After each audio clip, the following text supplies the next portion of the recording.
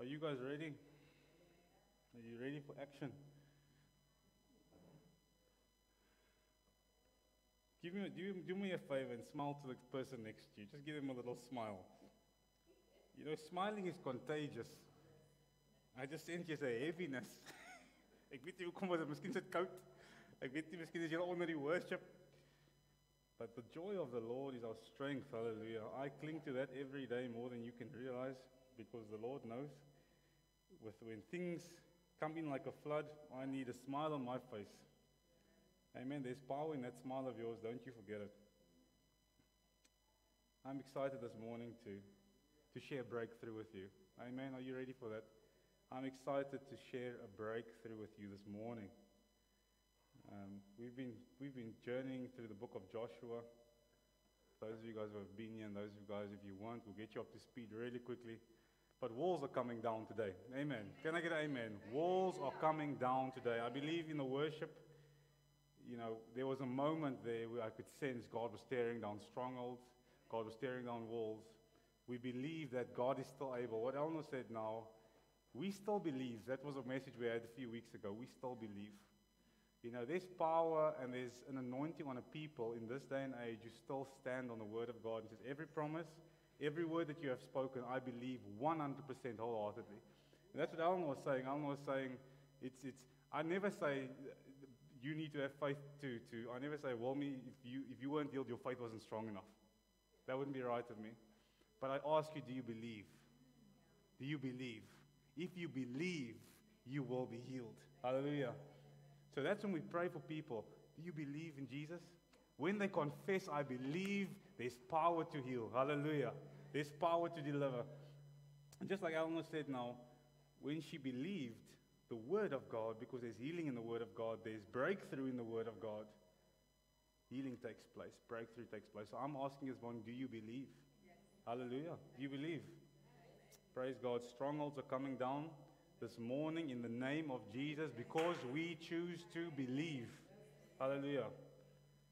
So we spent some time in Joshua chapter 1, chapter 2, and we are now in Joshua chapter 6. But if we turn to Joshua chapter 1, there's some promises that the Lord speaks over Joshua's life that I want to remind you of. I want to just put it under your feet before we journey onto the walls so the word says, verse 1 of chapter 1 of Joshua After the death of Moses, the servant of the Lord, the Lord said to Joshua, son of Nun, Moses' aide, Moses, my servant, is now dead. Now then, you and all these people, say, Get ready. Get ready to cross the Jordan River into the land which I am about to give you. Hallelujah. I am about to give you territory, says the Lord. This morning, you better believe it. I'm about to give you territory in Jesus' name. Hallelujah. I will give you, this is important, you need to burn this in your heart. I will give you every place where you set. Eleanor's talking about feet this morning. Prophetically, she's talking about her foot. The Lord wanted her foot not to move any further than what it did, but the Lord healed her because every place you place your foot, I will give you. You need to be able to move in the season. Hallelujah. You are useless in the season if you are stuck in one place. So if you are stuck, God wants to heal you, God wants to set you free because you need to be able to move about in the season because every place you place your foot, God is about to give you, not for your sake, but for his kingdom's sake. Hallelujah. Every place you place your foot, I will give you as I promised to, Mo- to Moses. Your territory will extend, says the Lord. Verse 5 is another promise you need to, to burn in your heart. If you can understand this, you are secure in your identity. No one will be able to stand against you. Hallelujah. No one will be able to come against you.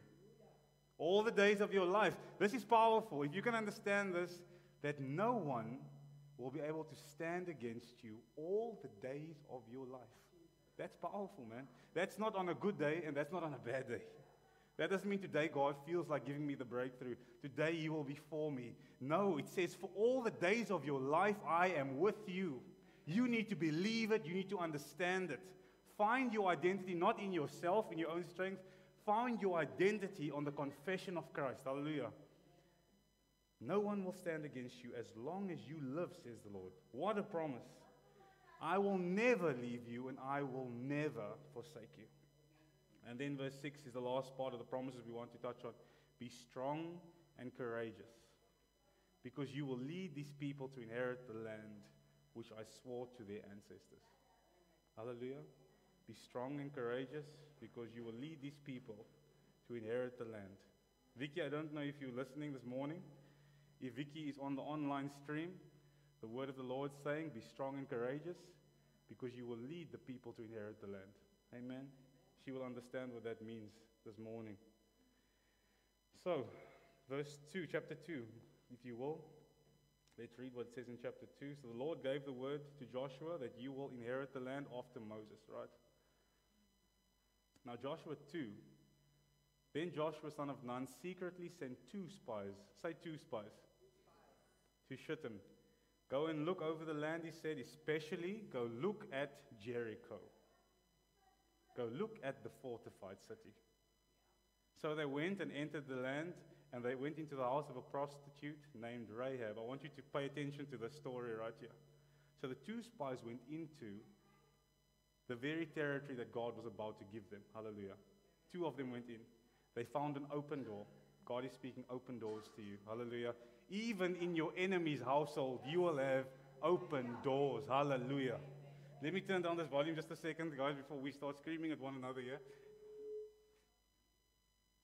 So, maybe a little bit more. Um, even in your enemy's household, you will see open doors. In the territory of the enemy, I will create an open door for you to infiltrate the land. I will give you a strategy in the enemy's territory of how to overtake that place, says the Lord. Hallelujah. So, two spies went in ahead of the people. They were representing God's people. Amen. They went in, they entered the house of the prostitute named Rahab. And the king of Jericho was told, was told about this that two men have come here to spy out the land. Does this remind you of another story in the Bible of Moses and the 12 spies? We will touch on that now, that there was two now, then there was 12. Then Jericho was, then the king of Jericho told there are some Israelites here who spy out the land, and so the king of Jericho sent the message to Rahab, I don't know how he knew. Maybe it word that they were there. But bring out the men who came to you and entered your house because they have come to spy out the whole land. But the woman took these two men and said to them, Yes, or said to these men, Yes, the men came to me, but I do not know where they came from. At dusk, when it was close to the time, at dusk, when it was time to close the city gate, they left here. Turn with me to verse 8. Before the spies lay down for the night, Rahab went up to the rooftop because they were hidden on the roof. And she said this to them Hear this. I want you to hear this testimony. We heard the testimony this morning. She said to them, I know that the Lord God has given this land to you. Hallelujah. This is from the enemy. She said to the two men of God, I know that this territory has been given to you. And a great fear has fallen on us. The mighty city of Jericho was in fear because of the rumors of God's goodness that they heard. Hallelujah. So all who lived in this country, they are now melting. The, mountain, the mountains will melt like wax. They are melting in fear because of you. We have heard of how the Lord dried up the water of the Red Sea when you came out of Egypt. And what he did to Sihon and Og the two kings of the Amorites east of the Jordan, whom you completely destroyed. When we heard of it, our hearts melted in fear. And everyone's courage, what did the word say to the Lord, to Joshua? Be strong and courageous. This word, woman says here, everyone's courage left them because it was given to you. All the courage left our army, all the courage left our walls, all of the courage left our city because we heard of the goodness of God. Praise God. The courage failed us, for the Lord your God is in heaven above and on the earth as below. Here on earth as it is in heaven, my Father. And then the story goes on and says, Please save my family because I've, I've, I've kept you here safely and hidden you away. And we know the scarlet robe gets thrown out. But in Numbers 13, if you read in Numbers 13, you get the story of Moses who sends out the 12 spies into the land of Canaan. Amen. Same land. And they sent the 12, the 12 spies out. In fact, they crossed the Red Sea. They were going directly into the land of Canaan. They were leaving Egypt and going directly into the promised land. And the word says that the Lord said to Moses, Moses, pick 12 men, one from each tribe. Let them go into the land for 40 days and inspect. Is the land good? Is it plentiful? Are there cities fortified? What does the people look like in the territory? The word of the Lord says these 12 men went into this territory flowing with milk and honey. Say milk and honey with me. God is giving us a land of milk and honey. He sent the 12 men into the milk, into the, into the milk and honey, literally, into the land of Canaan. They, they looked through the land. They saw, my goodness, this place is beautiful. It's fruitful. The ground bear much fruit. The word says they had a, a cluster of grapes on their shoulders that two men had to carry. That's how weighty the, the, the, the produce of the land was. And after 40 days, they came back and came to give a report to Moses and the people and said, The land does flow with milk and honey. Be careful of your report, says the Lord. Be careful what you speak with your mouth. Your negative comment, your negative word can send a fear through the people that will cause them not to enter the promised land. Make sure that what you speak is prophetic. Make sure that what you speak is God's word and not your own words. Hallelujah. What do we carry in our mouth carries life and death. It is important that we speak life over the things of God. So they were bringing back this report. The Lord had already said to Moses, I'm giving you the land. But they came back and said, The land flows with milk and honey. But, careful of but, but there are giants. There are giants in the land. The sons of Anak, they live there. They are mighty. We look like grasshoppers in the sight of these mighty men. That was the report they brought about the land that God wanted to give them. If God wants to give you a land, my friends, He will give it to you. I can tell you testimonies upon testimonies of how the Lord gave us a land. In fact, we are sitting in a land. Hallelujah. Amen. We are standing on holy ground, not by our own doing, but because the Lord wanted to give us the territory. Hallelujah. We had other plans for ourselves, move from house to house. We know we will go from here to there, and the Lord said, I've got great things in mind for you, my people. Be obedient, be led by the Holy Spirit, and you move into the promised land. Where was I? The giants were in the land. They brought back the negative report. God wanted to give them the promised land, and they said, We don't want it. We are afraid of the giants. We are afraid of the giants, so, so I, I care more about my life than what I care about the promise of God.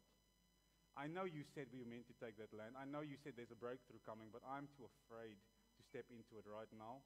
I, in fact, the, the fear, the word says that, I think it's chapter 15, that says, that chapter 14, where it says, the people wept. The people wept because they were so afraid of what was coming. You should have smiled and said, And I thank you, Lord Jesus, for the breakthrough because I'm about to eat honey and milk. But they start crying. And the Lord said to them, There was only two men, Joshua and Caleb said, Let us go. If God said He's for us, if His promises are true, let us go and take the land. But the ten sent fear through the camp. And the Lord said, Because you have not believed my word, because you have not trusted what I've said, you will wander this desert now for 40 years. Because you would not take the blessing. You would not take the blessing People, if we cannot take the blessing and receive the blessing of God, what else do you want? Then you wander the desert like a, I don't know like what, but for 40 years you wander. That a generation passes away because you would not take what God intended. I refuse to let this generation's blessing go by because I was not willing to do what God has called me to do. I pray that that is in your heart the same way. Father, we cannot see another generation pass by when the enemy is coming like a flood and we say we are too afraid to take a stand. We must see his kingdom come on earth. Amen? So, Joshua chapter 2 says Rahab allowed them in. Chapter 3, we spoke about last week.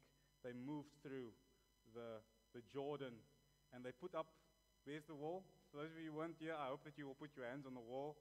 Uh, you on your, your plaque is your reserve. the wall speaks of God's goodness. The wall speaks about a crossing over. The wall speaks about a new season in our lives. Amen. It is a memorial stone of God's goodness. It's a testimony of what God has brought us through. So, Joshua 3 and 4, we speak about that. Joshua chapter 5, if you read chapter 5 with me, verse 1, I'm almost through again. I'm just getting to the crunch part. Now, when the Amorite kings west of the Jordan and all the Canaanite kings along the coast had heard of how the Lord had drawn, dried up the Jordan before the Israelites until they had crossed over, their hearts melted. They had, again, it says, they no longer had courage to face the Israelites. And then the word says, Gilgal, we'll preach, we'll speak a message on Gilgal, powerful message about how the Lord circumcised his people. Those who had come out of the wilderness experience had been recommitted to God and then in the end of that chapter, the word says, verse 13, when Joshua was near Jericho, he looked up and he saw a man standing in front of him with a drawn out sword in his hand. Joshua went up and asked him, Are you for us or against us? And he said, Neither, he replied, but as commander of the army of the Lord, I have come. Then Joshua fell face down to the ground in reverence and asked him, What message does my Lord have for his servant? The commander of the Lord's army replied, Take off your sandals because the place where you are standing is holy. And then, verse 6, where we are now. Are you ready, everybody? Are you ready? I need you to, to, to you need to start warming. You see how I'm dressed this morning, bro? I'm dressed in my, in my white, white techies and a comfortable shirt because we are about to move. Amen. We are about to move. So when the gates of Jericho were securely barred, can I just say before we uh, Joshua just remind about Eleanor Sterry. Do you guys remember the, the zebra crossing that we spoke about last week, the zebra crossing? So I, I said we will, this is the zebra crossing, and I, I was driving my car, and this lady was running across, and I had to stop. And the Lord said to me, the same way you had to stop because of the lady going over the zebra crossing is the same way in which when you confess with your mouth the name of Jesus, I create a blood-stained way for you to move through and pass through the enemies cannot come near you because you are walking through on the blood of the Lamb when you confess. It's powerful in, in, in healing as well. And then the Lord took me to Revelation 12, verse 11, where it says, You will overcome by the blood of the Lamb. The blood of the Lamb, right? And the word of your testimony. And I, I, I, pondered on that, and the Lord said to me, Do you understand what you spoke about in the zebra crossing when you move through on the bloodstained way? So when you are moving through on the bloodstained way and you take a minute to say, Father, I thank you for the goodness that you have bestowed to me. I thank you that you have carried me through, that I'm now standing on solid ground, that I'm standing on the blood of the Lamb. Your testimony reflects back to God the goodness. You reflect back the goodness of God on the bloodstained way. When those two things are in, in, in conjunction, when they are together, the bloodstained way confession and your testimony, Nothing can stand against you. Nothing can come against you.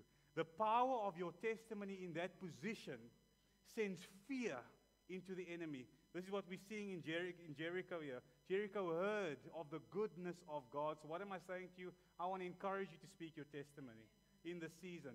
Don't keep silent of what God has done for you. Do you know what it does? When I speak my testimony, some people may say, Yeah, when he says his testimony, he says, He's so wonderful, and look how the Lord took him out of that place, and now he's standing here. He's such a wonderful guy. No, when I'm speaking my testimony, I'm telling you of the goodness of God. Hallelujah. His goodness is running after me. And when I say, Father, you have taken me, I was sick, and He healed me, I'm saying, I give you the glory. Hallelujah. It's not about me, my testimony is about Him. Amen. So Joshua's testimony sent fear into Jericho. Jericho had lost the battle before they even stepped onto the battlefield. Praise God. And that is what the Lord is saying to you. Before you even have to go to the fight, you will already have the victory. Amen. Now the gates of Jericho, verse 1, were securely barred. Nobody was allowed in or out because of the Israelites. They were so afraid, they closed the gates and said, Nobody go in or out. Then the Lord said to Joshua, See, can you see? Can you see? says the Lord. I have delivered that city into your hands, along with its king and its mighty army. It is yours. Praise God. The land which I promised Moses, you are about to see it. Hallelujah. That which you have trusted for for 40 years, where you stood at the door and you looked and said, You will not enter. That season is here and now. Hallelujah. You are about to enter. I've given it into your hands. So the instruction comes. There's the instruction. We spoke a lot about instruction. Bram touched on drinking the water. Eleanor spoke about further instruction for Gideon and his men. The instruction came. And sometimes the Lord will give you some crazy instructions. Amen. But when it seems when it seems unusual, just do it. Do me a favor. Just do it because God is going to give you a mighty victory. March around the city once. Marty is okay. March around the city once with all the armed men. Do this for six days. Can you stand up with me? I want you just to stretch your limbs with me. I want you to move out the chairs, out the way. Get ready. We're about to move here in prophetic fashion. Yes, yes. There's, there's a word of the Lord.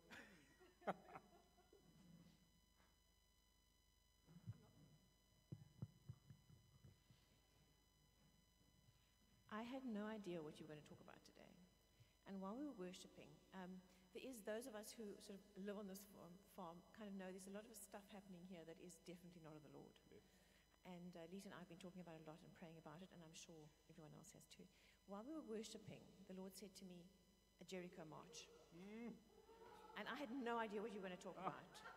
And in fact, he even gave me a path, a path to walk out, outside of this building, along there and around boundary. It's part of the way we ride, but it's not a very long walk. But he said to me, walk along there and along there with Wow. whoever wants to go with Wow, you. wow. So I just wanted to, I just Be felt I'm burning. I had to share that with Ah. you because I had no idea what you were going to talk about today. Praise. God, praise God. I'm going to see a victory. Hallelujah. Do you want to say something? Are you all right? All right, all right. We are going to see a victory, all right? I want to encourage you. Um, how long is the journey? Henry up.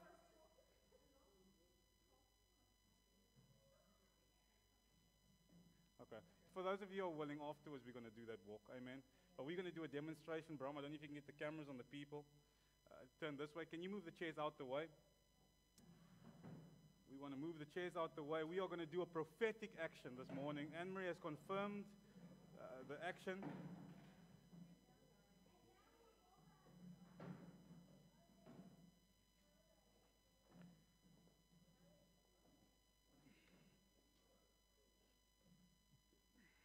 Want to, we want to be prophetic this morning. So the word of the Lord said to Joshua, March around the city once with all its armed men. Do this for six days. So we're warming up, right? We are conditioning ourselves. We are about to start moving around this wall for six days. There's some instructions here. Have seven priests carry the trumpet of ram's horns in front of the ark. And on the seventh day, march around the city seven times. This is what we're going to do this morning. March around it seven times with the priests blowing the trumpets.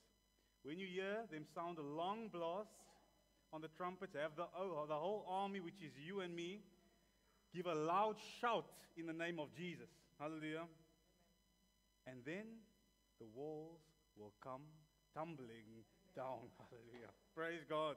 Praise God. So we're going to do this this morning, Marty. Let's feel uh, a part instructions.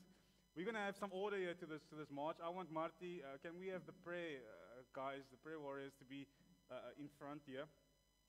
So let's have them right here. I want Marty right behind them. We're going to be moving around the left. The center of the of the place will be over there. So Marty net hulle. All right.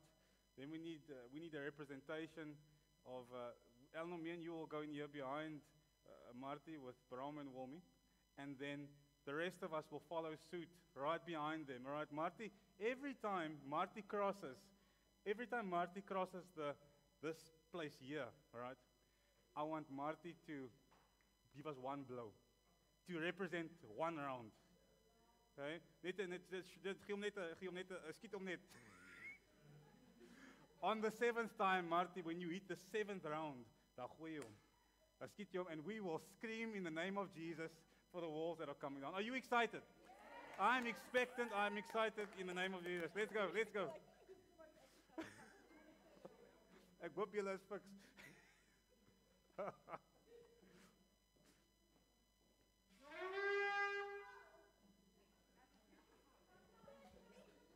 You got to get a bounce in your step.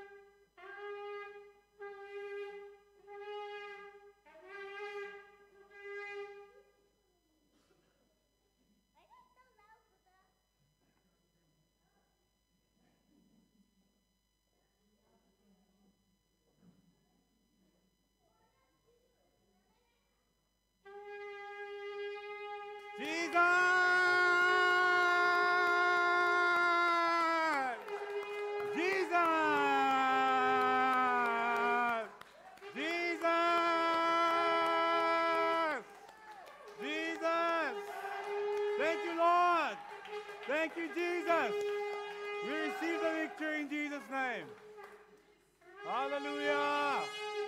Hallelujah. Hey. Hey. Hallelujah. Hallelujah. Hallelujah. Thank you, Father. Thank you, Lord. Father, we receive. We receive the victory. We thank you, Lord, that for so many years we have waited for this moment. Father, we don't take this action lightly. We don't take this declaration lightly. But you have confirmed your word, Father. We receive it now. We receive the victory. I speak courage and strength over your people, that they will enter into the land that you have called them to be, Father. That you will send them out, Father. That they will infiltrate the territories that you have called us for in the name of Jesus. May they be like sharp arrows, Father, being released by your hand, O God. May they meet the target which you have called them for in the name of Jesus. Thank you for equipping us for this season, O God. Thank you that we can hear the walls tumbling down, Father. Thank you for the freedom that we can sense in your spirit, O God. I pray, Father, that the shout that we give will resound and echo through the hills, that it will echo through this nation, that it will echo through this country, Father, and through the rest of the world. Let the shout of praise be heard in the name of Jesus. May the walls come tumbling down, Father. We declare this place holy ground in the name of Jesus. And all the glory and all the honor will be to you, Father, in the name of Jesus. We give you the victory, for you deserve it. We thank you for this day. We thank you for this word in season. We thank you for your people, for this prophetic declaration. We receive it, we receive it, we receive it. We still believe in Jesus' name. Amen. Amen. Hallelujah. Hallelujah. Hallelujah. Sure. amen. Amen. Amen. Thank you, guys. For those of you guys who don't know, this evening we've got a walls coming down, praise and worship evening to, to just usher in the victory that God has given us. If you are available, please do join us. For those of you guys who are watching online, if you are in the area, please come and join us. We've got a we've, we've received the victory. We're going to just move through the land now in the name of Jesus. Amen. Amen. We're at 5 o'clock, 5 o'clock this evening. Thank you, everyone.